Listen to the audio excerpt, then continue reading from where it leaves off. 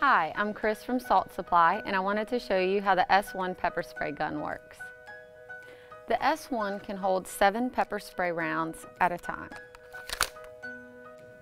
And it's powered by a standard CO2 cylinder.